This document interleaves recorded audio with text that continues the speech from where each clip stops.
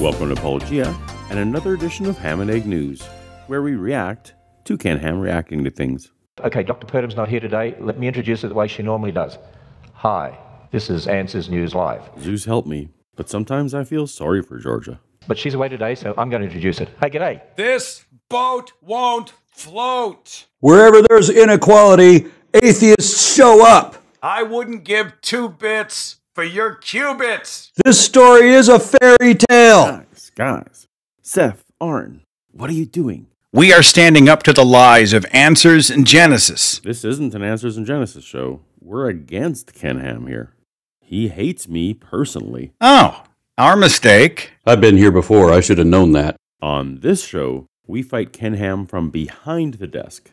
You want to come back and give it a shot? Sure. Let's do it. This past Saturday, 7th of July, was the two year anniversary of the Ark being open to the public. Now the ark only, the, the real ark, Noah's ark only had to float for about a year. Right. And then they left the ark. Right. So ours is it was abandoned. longer. Ours is two years old and it's not abandoned. All right. That's true. That's what I'm talking about. Yeah, atheists are real upset about that. Wait, I thought you guys were there on Saturday.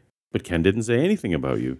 To borrow a phrase, were you there? we were there There were about 150 of us. marching two by two all the way up to the entrance of the Ark encounter, holding our placards, singing songs. In fact, as the march began, the soundtrack in the background over the sound system at the protest was Flintstones, meet the Flintstones. It was just awesome. And the ark was not looking good. I know they're bragging that they built this thing that's lasted for two years because it's a facade. It's not an actual boat. It's just a wooden wall of a building that's set on a concrete foundation and supported by three other buildings on the other side of it. They're all actual buildings. And this thing had modern rivets and braces and everything. There's steel all the way through this thing. This was clearly designed by engineers with a lot of experience in shipbuilding, but it's not designed to be a ship. It's designed to be a building. And that's why it has all these reinforcement braces and air conditioning ducts and everything. They had to have all of these things because you wouldn't have been able to live in the ark with all, especially not with all those animals, if you didn't have that. And even if you had all that, you still couldn't live in an ark with all those animals that it was supposed to have. But when they were building this thing, we saw waterproofing that was being, you know, modern like DuPont chemical waterproofing sheets that was being put over all the wood on the exterior. But now when you go look at it, even with all that chemical treatment, two years later, it's looking pretty rank. What is that? What that is like a discoloration there, large section of the side front of the ark that looks like it's uh, it's almost gray as opposed to you know the more healthy wood around it. I don't know what is that. Yeah, that's what I think it is. Is it's the a combination of the sun and water. This thing could not withstand rain. In the first few months of its existence, there were problems because of the rain. Ken makes this side comment that atheists are upset, but he does that all the time. Is it possible he didn't know you were there? Oh, he knew. There were people that work for him. As a matter of fact, the guy that gave me the guided tour when I first went, you know, two years ago, that guy, Tony, if, if I can remember his name, he gave me this tour of the ark and we were looking at these stuffed animals that they had built in there and I was explaining what was wrong with each one of them. Most importantly, when we came to the, the mini Tyrannus that they'd created in there, it was supposed to be the beginning of the Tyrannosaur kind. And I asked him, you know, there's something missing here. Can you see what it is? Where are the feathers? Because every dromaeosaurid is now known to have had feathers. Where are they on this? You know, of course, Answers in Genesis cannot admit that there were feathers on dinosaurs, Why not? which is becoming increasingly a problem because we're finding more and more that we know that there were some dinosaurs that did not have feathers.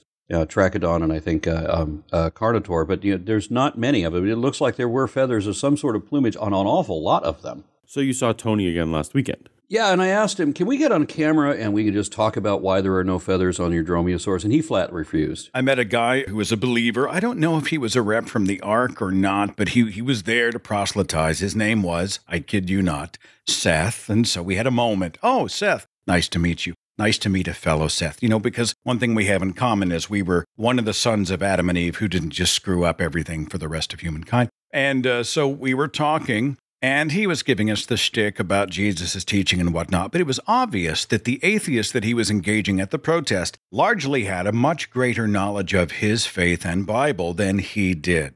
And near the end of the conversation, which was amicable and pleasant, I looked him in the eye and I said, If an Islamist came to you and they asked you to believe all the stuff that you're telling us on faith, the faith that you're embracing for Jesus and the Bible, if an Islamist asked you to take their faith on faith, would you do it? And he's like, Well, absolutely not. And I said, Then, would you Consider that it's possible that you are treating your own religious belief with a different set of rules than you are treating all the others.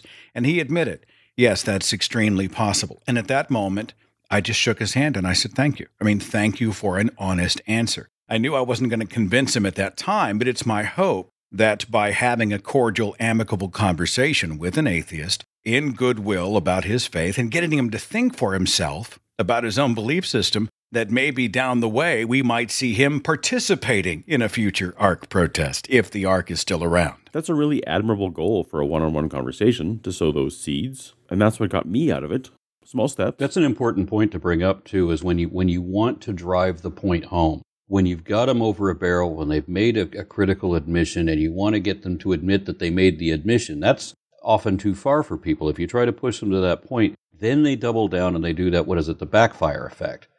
But if you are amicable and do as Seth did at that moment, that is the best way to play that because that is going to grow. That that seed is going to germinate in their mind. Wait, is this a kinder, gentler Aron?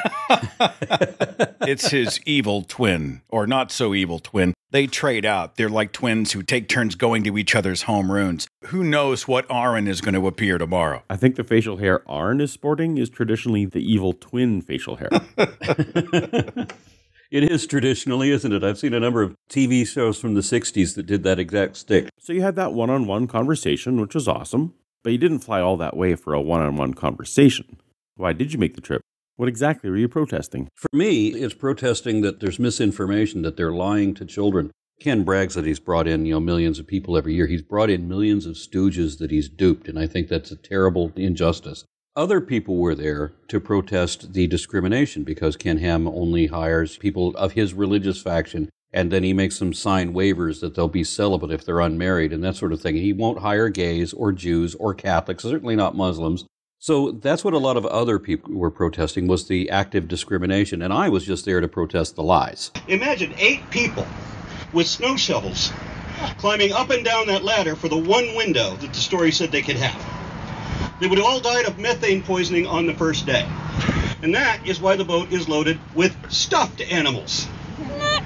They wanted to create this illusion that you could have this boat, that Noah could build this boat. I think in my own life, you know, having been raised to believe this story is fact, you know, it's you're a young kid, you're impressionable, you're in Christian school where they pound this stuff home, and then you become an adult and you just sort of accept it.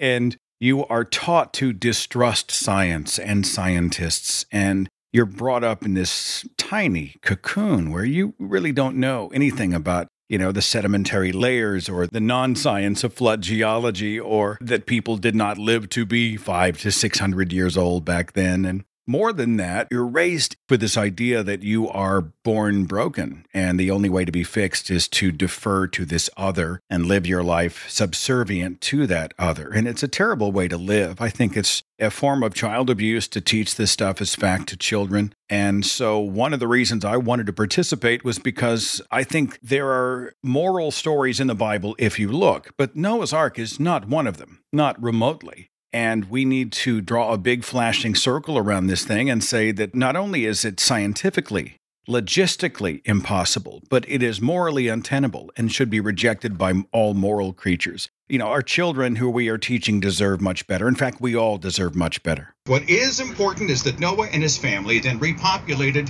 the earth, over 5,000 ethnic groups in about 4,000 years. And then Noah, the one righteous man worth saving, spent the latter part of his life naked and drunk and his story would be documented in an anonymously written book and in modern times would be memorialized by Ken Ham, who somehow sold the state of Kentucky on the construction of a $100 million paperweight.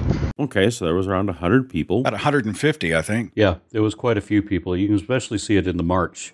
Although some of the newspapers, they weren't very friendly to us this time. They said there were dozens of protesters. if you had a million people, you could still argue that there were dozens of protesters. There were just a whole lot of dozens. A whole lot of dozens, yeah. Set the scene for me. What would the protest have looked like to someone driving by? Well, they would have seen this massive crowd of people that were marching along the street up to the entrance. We got to see a whole lot of people making sneery faces at us as they saw the sign that we were holding up quite a large banner that described the Ark Park as a genocide and incest park. Which is actually factual. And if you've been to the Creation Museum, you've seen the exhibit on incest and why in that time period, in that context, incest was perfectly okay. Like Ken Ham has an exhibit defending incest. So we really shouldn't have a problem with incest being on our banner, I wouldn't think. Yeah, and it was good for starting conversations, uncomfortable conversations with parents and their kids. The enthusiasm of the people was palpable. It's funny, people paint atheists and protesters in general as just these awful, angry people, but we were having a ball. We had music playing, there was food being served, we were hanging out, making friends. There were podcasters doing interviews. I was shooting some videos. We had just a festive atmosphere. I mean, it's so much fun to expose this particular story and to do so right near the entrance of the Ark encounter that we were having a ball. So while Ken Ham or anybody else might want to paint the atheist as these malcontents who are sitting over there with black clouds, you know, over their heads and black smoke coming out of their ears. The truth was, we, we were having a great time. In fact, when we were done, we all gathered over at Jim Helton's house and we spent the rest of the day together. There was a whole lot of people at Helton's house. I mean, a lot of people. They were doing board games and feasting it was a good old time. You were playing a game where you did you kill Hitler or were you trying to defeat Hitler? I'm trying to remember. I didn't play. I'm not much of a board game guy. I was there for the conversation mostly. Okay, somebody was playing a game about defeating or killing Hitler. It was bizarre. It was it was a it was wild. You get a bunch of nerds and geeks together who are also atheists and fans of pop culture, political culture, sci-fi, fantasy, and uh, I don't know, 10 other genres. We played a game called Werewolf where it was the werewolves versus the villagers. People were going out. now, the thing for me was I loved the fact that uh, the creationists showed up, where the Answers in Genesis actually sent people over, or that you know they came together. But they were more an intelligent group than the first group of counter protesters. I unfortunately didn't get to engage with them, which was the biggest thing I was looking forward to going out there. I got some video of talking to one or two believers, but unfortunately, because of the sound system, they were playing so much festive music that you can't really make out the audio, so I can't use it in my videos. But that's really what I was there for is the rare occasions when you have people that are going into this knowing that they're going to have that conversation. They're prepared to have that conversation and we can engage. There's a place in London, I think it's Hyde Park, and they have a place in Hyde Park called Speaker's Corner. And there, on any given Sunday, you can go and just argue about religion with a whole bunch of creationists or, or Muslims or whatever. I mean, there's a whole bunch of different conflicting perspectives, and they go there looking for that debate.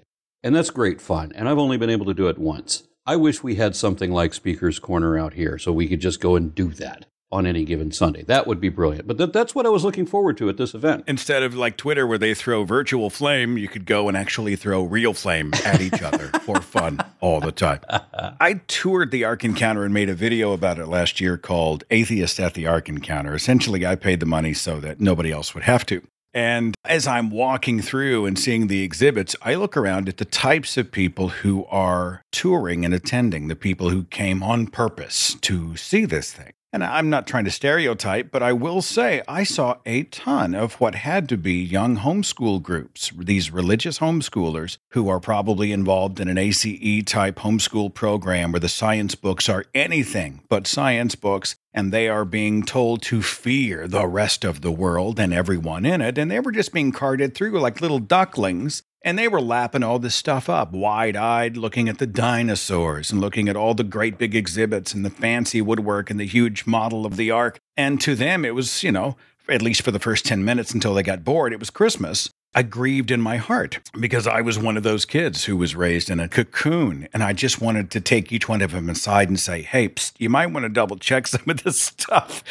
when you get a few years older. You might, or actually, right now, you might go and ask your folks, you know, that they can peer review some of these claims that are being made in the Ark encounter.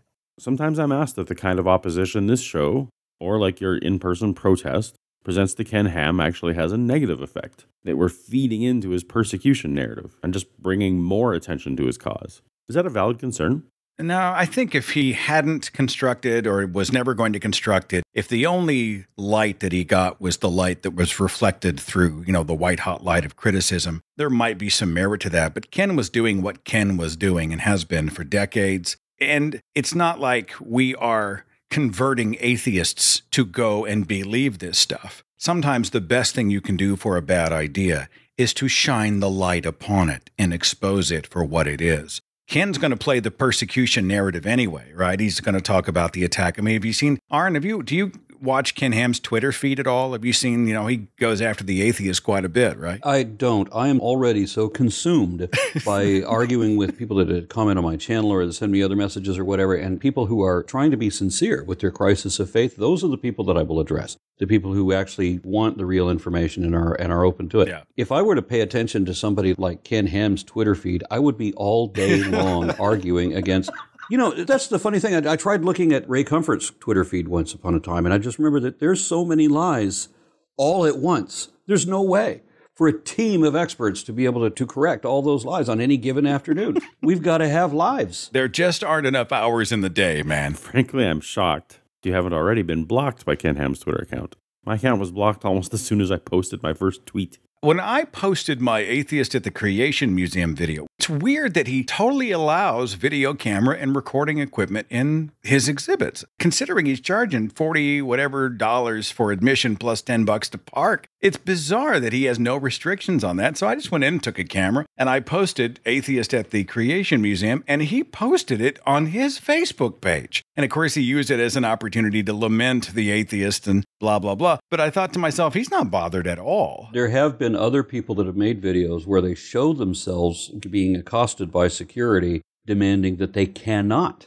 take pictures or video in the Ark encounter. Well, that's interesting. I, I, didn't see a written placard. I had, didn't see anything anywhere on the website. Honestly, if I had an exhibit and it was a proprietary exhibit, I would probably want people to have to pay to go see what it was. But, you know, if they're not going to. I can understand why you're confused at that because when I went through, I had people from Answers in Genesis leading the tour on video. they knew they were being videoed. Now you have a reputation. Aron has a reputation. I don't know if they know you as Aron or do they know you as that big tall guy? What what's what were they calling you before you showed up? So Somebody complained that they were worried that big guy from Texas would be there. That's all you got to hear. And that's all you got to hear. big guy from Texas. That's all you got to hear, and you know who they're talking about. That's awesome. Before we move on to their news stories, anything else we should know about the protest? There were a lot of i say a lot at least they were vocal criticisms of why would you give this guy any oxygen? And jim helton addressed it from the stage. Ken ham in the ark encounter wants to teach the controversy in public schools that the earth is only 6000 years old. In kentucky it is legal to do bible studies and teach the bible in class. What? our sex ed is abstinence only till marriage and is based on their belief system. They're against birth control abortion letting our transgender friends pee in peace, against dying with dignity, the death penalty, climate change, and equality for all.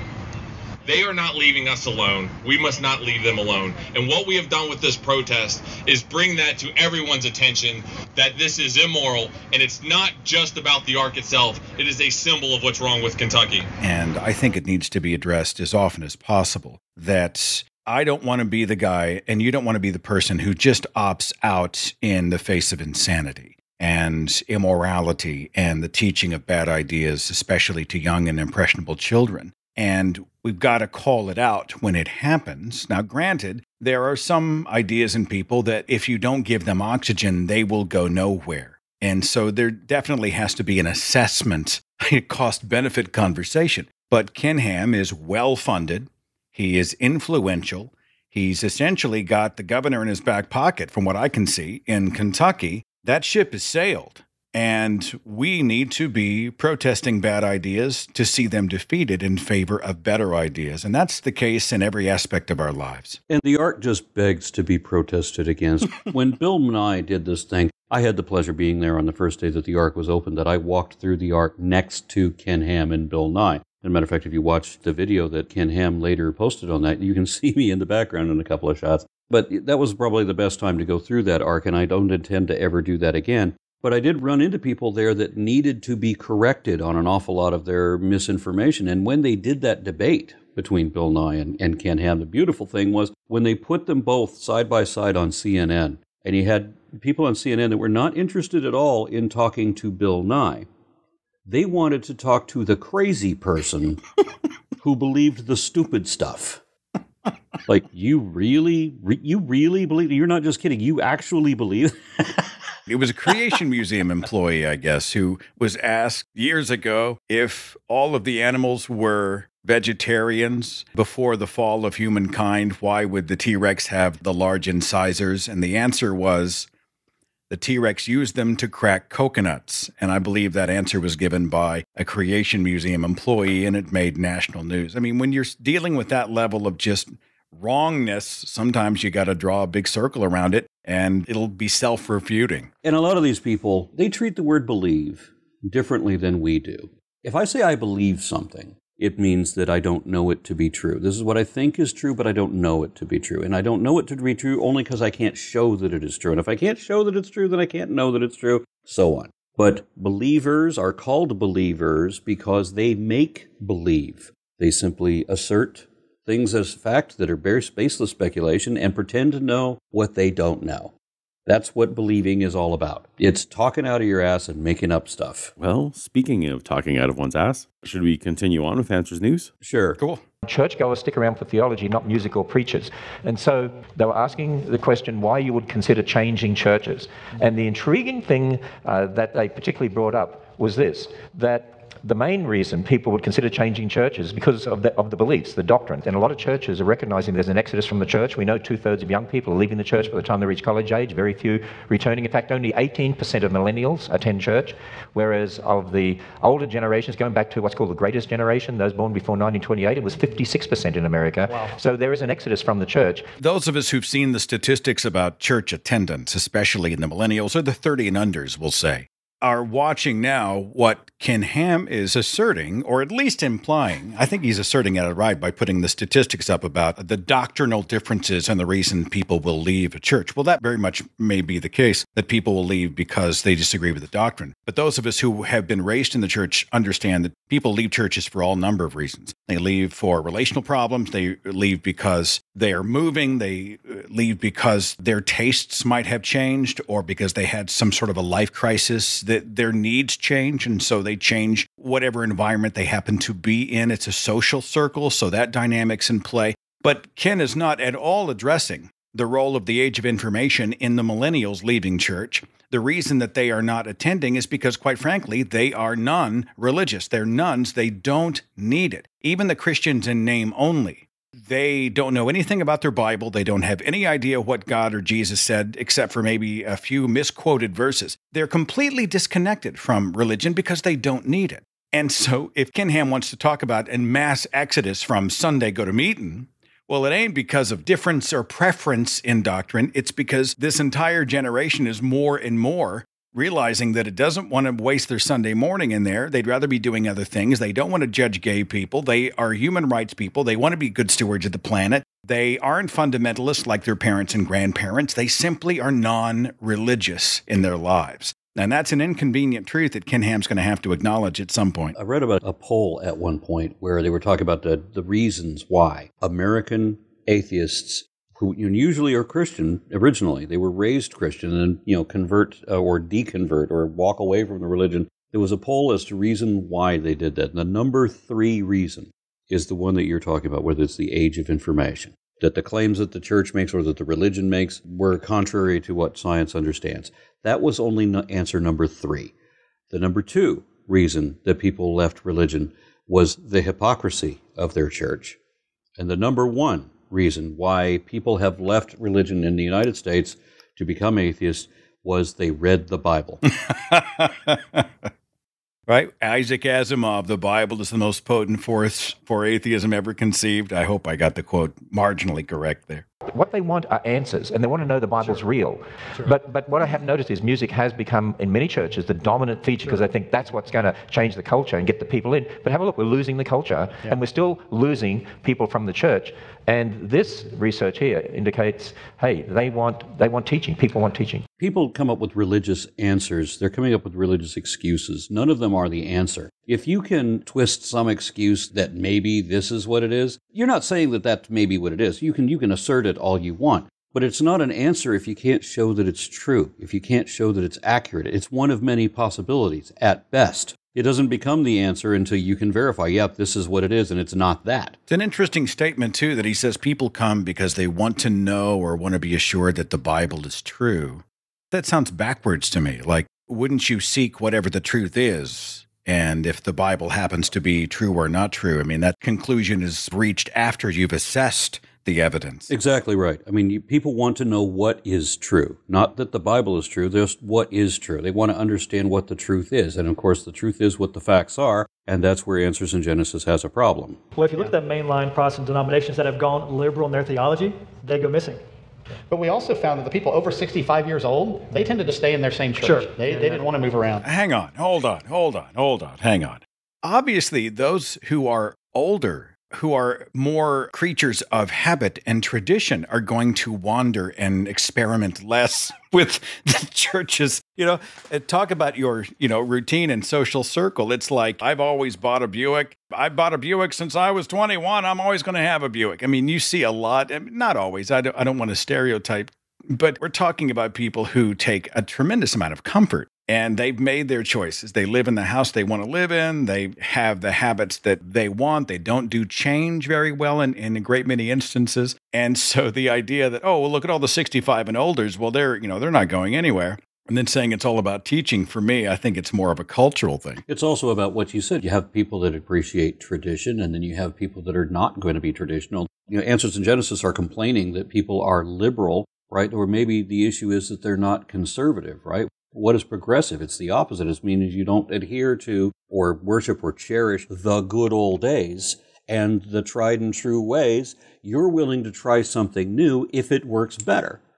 And that's what youth does. That's what progressives do. That's the positions. And obviously, creationism is a very conservative position. Maintain the traditions, maintain the tried and true or the old ways. And notice how the liberals and the progressives always get sort of lumped in as atheists. The progressive liberal atheists. I think Ken Ham likes to use the term atheist worldview or atheistic worldview. And I'm like, atheism is not a worldview. Now, it can inform a worldview, but atheists aren't sitting around in a star chamber all in agreement about everything from their political views to their philosophical views to you name it. I mean, you're talking about a huge swath of extremely diverse people. And yet, it, when the apologists speak about atheists, they talk about them in this weird cookie cutter thing, like we're all going to the same kegger.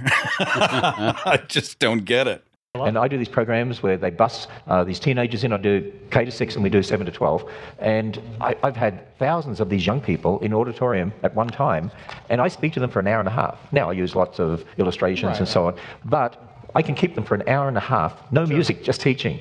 And they come afterwards, many of them, and they say, We've never had those answers before. This helps make the Bible real.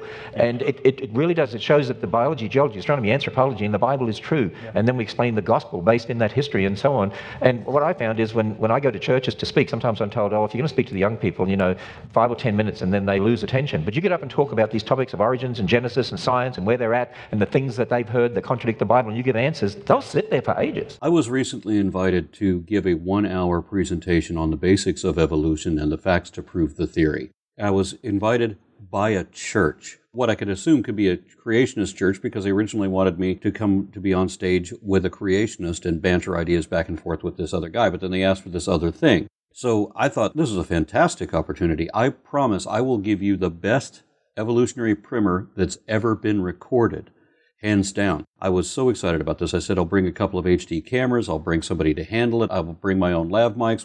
This is going to be great. And I called him back a, a, week later and I said, well, just want to verify the times and the locations of the venue or the room so that I can advertise and promote this. And the answer that I suddenly got was, uh, it turns out we have something else scheduled for that afternoon and we can't do that. So you're still on for the debate, but you're not going to be giving that one hour lecture.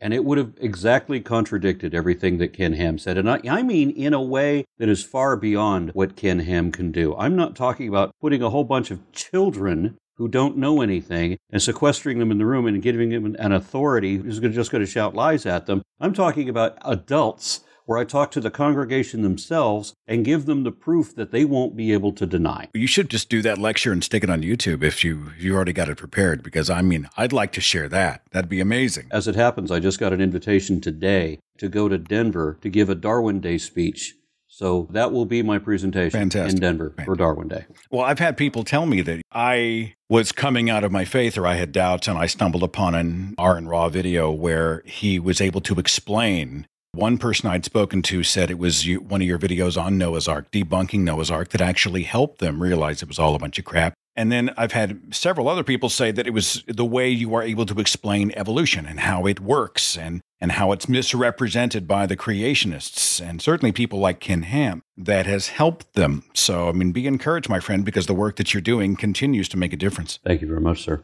Let's get on with this next article. Neanderthal. Remember Neanderthal man?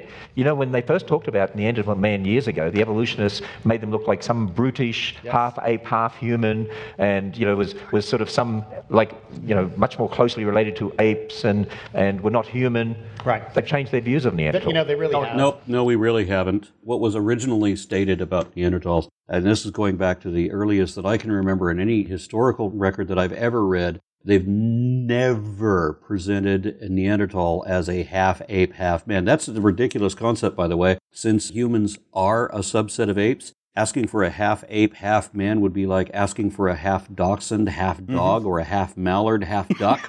that doesn't make any sense.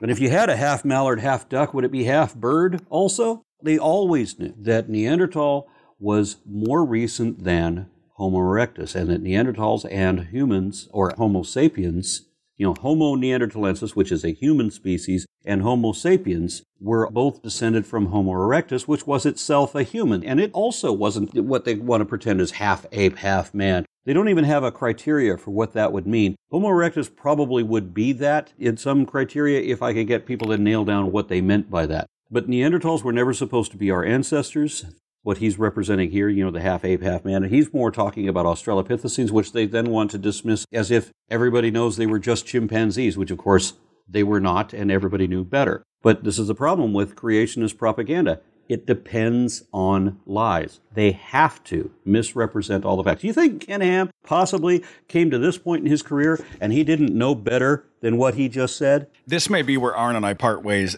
I do think it's fertile ground for the charlatan and the scam artist. And there's a seriously large possibility that Ken Ham is completely full of crap. Well, he knows. but he knows what the history is. Uh, you don't know what he knows. You you know that, that he's been presented information, and you know that he has that information should have gotten through his thick skull, and that he should be assimilating it. But at the same time, if you understand the power of, of, cognitive dissonance and the backfire effect and the fact that he's you know he's living in his particular faith meaning he's closed off certain avenues of thought it's very possible that he simply is just rejecting all of the new information and sincerely does believe in the six day creation and all that. Now i'm like you i have my suspicions that he's just totally full of shit. But i don't like to go that far to say i know what he's thinking because I'm talking about what he's actually said, you know, when he's described in his seminars. What is actually confirmation bias, but he calls the God glasses, where you simply throw out whatever evidence you don't like and accept that the Bible is true, therefore everything else is wrong. Oh, that's fundamental Christianity. Hell, I was raised in that. You know, we were taught to distrust you sciency people who would come at us with these quote unquote facts that had been tainted by Satan. And so we embraced the Bible and we rebuffed everything else, but we sincerely believed. And so wherever Ken Ham ends up, whether he's sincere or a businessman, a con man, a scam artist, I don't really know. But we're not mind readers. We don't know whether or not he's lying or he genuinely believes it to be true, but. Well, for the moment, we'll concede that he is either willfully ignorant or deliberately dishonest, and I don't see where the difference is. I mean, was it Matt who said if he is lying, he's one of the best liars out there? The guy is 24 7, full bore, evangelical, fundamental, literal Bible, Genesis Christianity you know, he makes me crazy. Don't get me wrong. I'm not coming to Ken's defense. Nobody get me wrong. When I see those kids carted in by the hundreds upon hundreds into those auditoriums, captive audiences, and uh, Aron put it so well a few minutes ago, and he was talking about the fact that they're sort of cocooned in these, you know, they're they are uh, sequestered is the word you used, and I'm like, yes, they bring them into this microcosm and they fill them full of bad information and then send them off confident that they no longer have to ask any more questions because they already know the truth, I honestly think it's a form of child abuse. Ken Ham is damaging the perceptions of children in relation to the real world and potentially inhibiting what they might become because they are living the rest of their lives with the belief in a sin nature, fear of hell, shame for being born, and a dependence on another to make everything make sense and do the thinking for them. The summary is that what he just said about Neanderthals and what quote, evolutionists, unquote, said about Neanderthals versus what they say about them today is wrong. We're still maintaining the same original message. Do you ever hear people say, "Don't call me a primate"? And of course, I'm I always think of you, aren't like, what was your first response be? Don't link me to a primate. And your response would be what? are you a mammal or are you just linked to a mammal? Are you similar to a mammal or are you a ma- actually a mammal? Is it you have similar traits to mammals or you have diagnostic traits as a mammal? but people don't understand it. This is why I wanted to throw it out there. It's just so good. I've noticed that since your debate with Kent Hovind that he's become aware of the word eukaryote. you went and looked up what the word meant, huh? Aron, would you ever take the stage with Ken Ham? Like if Ken ever said, "Okay, bring it," and I was supposed to take the stage. Bill Nye was my replacement. Why did that fall through? Ken Ham was giving a keynote speech at a homeschool convention in Houston. And the Houston Atheists, which was the largest geographic atheist collective, some 2,200 members at that time, sent a message to Ken Ham challenging him to a debate and they selected me as their champion. So they asked him to debate me, and the, venue was going to be the Houston Museum of Natural Science, and all this had already been set up. So Ham refused. He said he would only debate PhDs. So PZ Myers threw his PhD into the ring, and he said, uh, "You know, I'll I'll put in my PhD on one condition: Aron remains in the debate as my partner." And all negotiations stopped. They didn't respond to any further messages. They they just weren't going to talk to us anymore. So we called their bluff, and they wouldn't do anything about it. And then three or four months later was the announcement that Bill Nye was going to do the debate. Of course, it's not going to be at a neutral venue anymore. Now it was going to be at Answers in Genesis headquarters so that they could make $20,000 on ticket sales on that one day. Obviously, the Ham Nye debate was a watershed moment for a lot of people. But in hindsight, do you have any sense as to whether the debate was a cultural win or a cultural loss? The reason that Ham wasn't going to do the debate with me was because there's no way to win. There just wasn't. But if he did it with Bill Nye, again, there still wasn't a way to win the debate, but he did get $20,000 from the ticket sales, and his investors felt so sorry for him that they did the backfire effect. That he got his ass handed to him so bad that his investors gave him the money to do the ark, which was the reason he did the debate in the first place. He was running out of money, other people's money, to build this big facade. Yeah, I you know when I first approached the debate, I thought, you know, yeah, bring it. I like Bill Nye. I don't think he was the right guy. He brings likability and he, he had some good information. I think someone like Aron could have gone in and just really been the blitzkrieg of data that could have seen a global audience who'd been watching online. Yeah, I want to be careful about this because, I mean, while I would have won that debate too, if you had put us both in the same venue, Bill Nye was the, the choice that people would have more likely sided with you put my you know Disney villain satanic ass up there and well I, I, guess if you're looking at a style over substance I mean for those who see this intimidating you know large dark figure come in before you realize he's like the nicest guy in the world and has a genuine heart for people and wants the truth to prevail. You know, it's easy to put Aron in a cookie cutter, especially if you're one of the religious. But looking back, I lament that it was such a fundraising opportunity. I'd like to have seen that debate carried out on neutral ground with no financial benefit or at least equal financial benefit for both. And without that caveat, in retrospect, I would like to have seen the debate not happen. I've actually changed my position because I saw he was able to translate that into funding. And that's kind of a tragedy. Now, certainly, we saw some people who were exposed to the argument. That's important but I, I, don't think the cost benefit on that debate was worth it. I'd like to see it formatted differently, and I'd kind of like to see somebody else opposing Ken Ham on stage, somebody who is an actual hardcore student of and teacher of and, about evolution and evolutionary science. Yeah, what are the requirements when the uh, Houston atheists wanted me to debate Ken Ham? My only requirement that I can remember was that neither of us gets paid, neither of us gets to market anything while we're there. This is not going to be a money making opportunity for either of us. And don't bring me any of that weak ass beer. That would be probably in his rider. Yeah, yeah I ain't drinking yellow. well, I feel like we've wrapped that up with a nice little bow. Probably no reason to ruin it with any more words from Ken.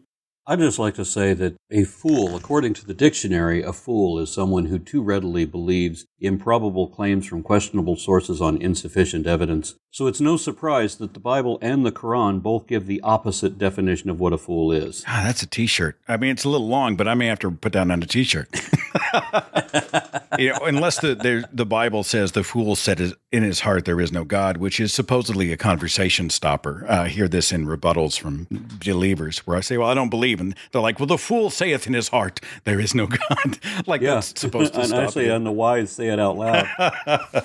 I think my thing would be I came out of a culture that we thought evolution was, you know, my granddaddy wasn't no monkey. That's essentially how it was pitched to us. And, eh, you know, evolution was framed so that it threatened my specialness. I was no longer going to be a child of the living God. And and the universe didn't revolve around me. And what I didn't expect when I came out of my faith was that learning as a layperson, as a civilian, about how evolution worked and life and, and the natural processes of this world and solar system and galaxy and universe and, and making every day a discovery actually made life more amazing and more special educating myself about how all of these mechanisms work actually made me more in awe of the natural world. So I would encourage anybody, you don't have to have a PhD or be pursuing a PhD in evolution to be able to learn and participate. So, you know, go through AronRa's Channel. He's got so much amazing material. He's one of our best educators on the subject. He's a great resource that should not be ignored. I've also got about an hour and 20 minute speech that I recorded of Dr. Donald Prothero, paleontologist and geologist, and I shot the speech that he gave in front of a studio audience in Dallas where he gave 90 minutes of examples of how evolution works. It's called Evolution What the Fossils Say. You can find it easily on YouTube. You don't have to be an egghead. you don't have to be one of those people with a hugely deep mind. You can be anybody, everybody, and you can be a part of the scientific learning process. And I would encourage everybody to get excited about learning those things and passing them on. Cool. I, lo- I love that closing line. Cool. the two of you here, what else is there for me to say? If you haven't already, be sure to subscribe to Seth Andrews' YouTube channel and find all of his details at thethinkingatheist.com or sethandrews.net. And do the same with AronRa's channel via patreon.com slash A-R-O-N-R-A. Thanks so much for stopping by, guys. Thank you very much. Cool. Bye-bye. Quick reminder that there's a new Paulogia Discord server where my viewers hang out, have fun, and discuss leaving religion. There's also now a line of ham and egg shirts, mugs, stickers, and things. Be like Morgan and Shannon and get yours today. Find the links in the description. Huge thanks, as always, to those who support me on Patreon and make these videos possible. If you find what I do helpful and would like to help me continue and expand, consider supporting us for as little as a dollar a month at patreon.com slash paulogia. Maybe you'll be a cartoon. To everyone, thanks for watching. Please like and subscribe and tell your friends. Until next time. Later.